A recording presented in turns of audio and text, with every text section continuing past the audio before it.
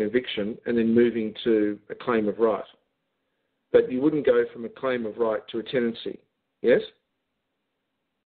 Okay. In other words, if you're claiming that the land is, is in your possession and that you are claiming occupation and therefore they cannot tax you and therefore there is no landlord tenant relationship anymore, you wouldn't then revert back to the tenant remedy, would you? Right. Okay. In an eviction process, the tenancy path is probably easier if you're at the end of a, an eviction process than the claim of right. Then, if the eviction process rolls through, which it may well, you can then use the claim of right as a second remedy. Yeah? Okay. But if you try and play on a claim of right after you've had a foreclosure hearing or facing all the eviction process late in the day, then you'll be scrambling. You'll be desperate and you'll run out of time. So I really suggest for people to think about the appropriate remedy at the appropriate time. It is all about saving your home, but I can't make that decision for you. It has to be made in competence. Now, I mentioned, RSY, phone, just to share with others, if you don't mind. I did mention this issue of not mixing remedies, but I would say there are a number of practical steps that we haven't got there, which people should consider. Withdrawing consent, a notice or an affidavit of withdrawal of consent is a valid instrument. There are lots of instruments you can use in addition to what we're doing that are extremely valuable and important. But my comment was merely to, to use discretion on what you choose. And that's the same thing here. I use discretion. If you are facing the imminent possibility of eviction after a drawn out process on foreclosure, I would not suggest you do a deed of right claim at this point, personally. It's entirely up to you. But I could I could follow through on the um what is it, the right of tenancy or something? Yeah, the right of equity and redemption. Absolutely. Okay, okay. Which okay. is, you know, I, I will I will restore my honour, and at the same time I will lodge. Uh, now, if you've gone through the hearing, these things may be limited to you because you've gone through the hearing and you've missed that opportunity. Don't worry, but but you will have missed the opportunity, for example, to use discovery in interrogatories as a very powerful tool. But but we'll get clear on this, and it's about helping people um, it's about helping you. So, Iris, hopefully that clears up your questions.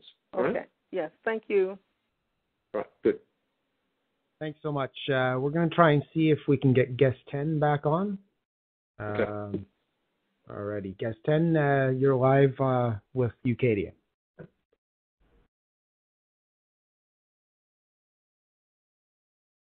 Well, uh, there might be an audio problem. Uh, guest 10 keeps uh, queuing up in line, but uh, there's there's no questions. So we're going to take uh, the next caller. All right. Gets 10, put your question in um, in the chat, and I'll try and keep track of it too. All right? So far away. Uh, Yep. Next up, uh, we're going to talk to Ron D48. Uh, Ron, you're uh, you're live. Hello, Yeah. Brian. Hello, Frank. How you guys doing? Doing well. Good, good. You've been working really hard, Frank. You've been working really hard, I can tell. Hey, look, um, when I was assembling the the book of the Green Race, of course, I I, I lightly scanned it as I was assembling the book for um, to put it up on U of U. Um, why is there so much evil when the Creator could eliminate the evil and make Earth a paradise? I don't I don't understand why there's so much evil. Maybe you can Okay. shed some light on that. Sure. Okay. There's another book that is well and truly unfinished, but it will be finished before the end of the year. It's on a site called one-evil.org, and it's called Today Magisterium. There was a group 2,000 years ago that are variously called the Gnostics. In fact, we just celebrated uh, a day in honor of the leader of the Gnostics in Rome called Valentinus. the day of Valentinus or Valentine's Day. Mm. Um, and another name for them were the truth seekers or the light seekers, the Nazarenes. And their leader, who was extraordinarily skilled and himself was a member of the holy and the priest bloodlines back to the line of David and, and other bloodlines, Hyksos, the pharaohs, went on a journey. And when he came back, he gave people an explanation of this very issue. Now, it, it's extraordinarily complex, but I'm going to distill it down to, to this. There is a belief, there is a belief that, that, that, that Homo sapiens were given two gifts of being able to tap into a higher source of knowledge above and beyond the evolution of the species by genetic knowledge. The first is the concept of the soul, of the DNA, alien DNA that uh, imbued with us created a um, knowledge map that allowed us to naturally tap in to the big white telephone. Now I know people joke at that. They think, you know, there's no there's no alien DNA. They've mapped the genome project, and you know, if there was any alien DNA, they would they would tell us. That genome project actually told us that there are genes in our system that cannot be described as anything else but alien. The genome project has told us this. Has told us this, and people still don't understand. The genome project has told us that they've discovered splicing of our DNA, not not uh, malformations, not throwbacks, not mutations, splicing in our genes. And people still won't read. Yes, they put it in the newspapers, and if they don't put it on e news, people don't watch it because it's got nothing to do with the Kardashians. But it's still being public knowledge. So uh, the reason I'm, I'm going down this road is to explain that in that, the, the leader of the Nazarenes, the Gnostics, 2,000 years ago said, we effectively were given two souls the soul of light, which was by our making, and the soul of darkness, which was by our teaching, our teachers educating us, those that made us. One is called the counterfeit soul, and one is called the true soul. Now, what is the significance? Well, if one wishes to tap into divine knowledge, both give us a path. A, path of uh, the long path and the short path is another way it's been described in many esoteric, very powerful esoteric texts since the beginning of the earth. That there is a short path and a light path. Now, what's a short path? The path says if you perform what we would consider evil, then as perverse as it sounds, that counterfeit soul gives us an ability to tap into that and in, in that euphoria obtain divine knowledge. Just as the light path, through goodness and humility and self restraint and meditation, gives us a path. So we have had effectively two things inside of us when we shouldn't even have one. Hmm. Now, if you put a jet engine in a Morris Minor car. What's what's the possibility that that jet engine will do?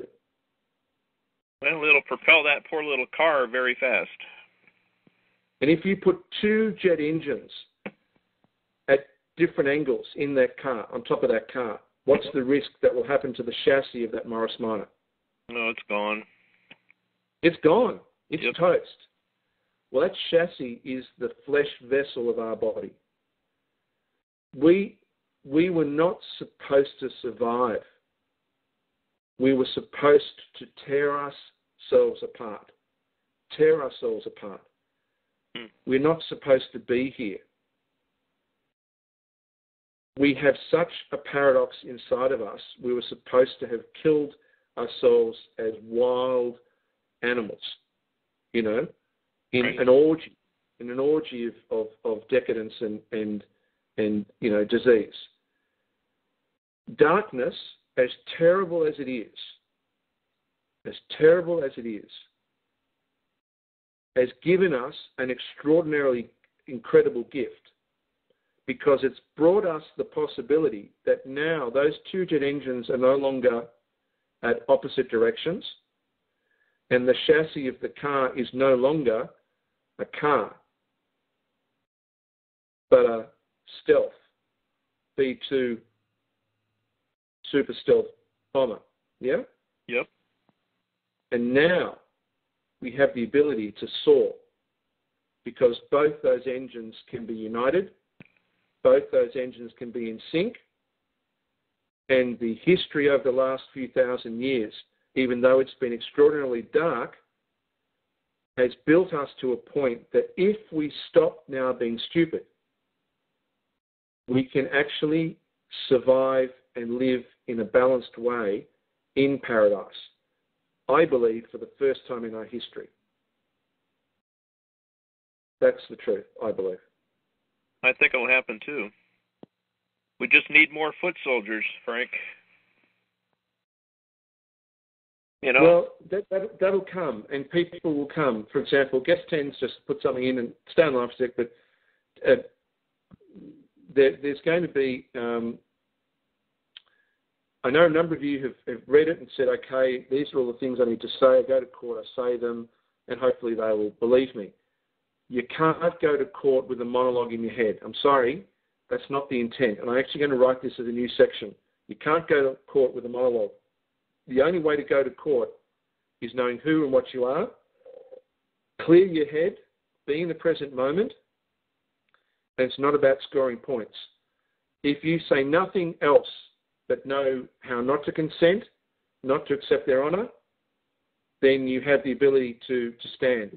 I, it, it's so hard. It all happens in a flash. I mean, court cases, they're moving through court cases faster than a pill dispensary. So it's easy to say it. You're in there, and literally it happens in five minutes. But I, I, I just say that anyone that's struggling at the moment, all I say is please continue to read, continue to reflect, but know that, that monologues will not help you in the court process. And one court process that doesn't go your way doesn't mean it's over. So again, we'll show how that, that, that works. So Ron, was there any other questions before we move on? Are you okay? um, I'm fine, but are you going to finish the Green Book? Yes. Well, it, the book finishes at the 12th century, basically. Yeah. I know. It it kind of left us hanging there. Well, they they uh, they destroyed Tara, Torah, and uh, that's pretty much the you know beginning of the last uh, well 1260 years by Oh. Daniel. Right. Yeah. yeah. So that's in Today Magisterium. So Today Magisterium is the history of what we would call evil from the beginning and uh, and how it ends. Okay.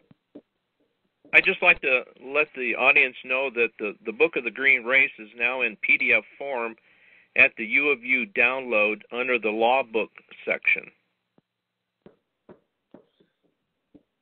Thanks, Ron. Thank Sure. you. Good night. No. Yeah, thanks so much for that, Ron. Um, yeah, it, it's one of these biggest issues is everyone's out looking for saviors or someone else to help them, where the, the help is actually within.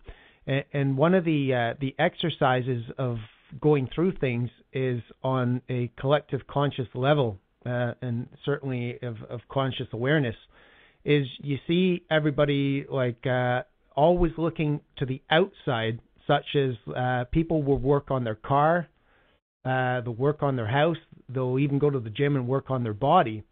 But no one r- really grasps the fundamentals of working on consciousness and uh, resolving those principles of the schisms uh, between the dark night of the soul. So, uh, one of the clearing of the conscious field is also, uh, you know, accepting and coming to terms that these principles of these schisms were were uh, originally put into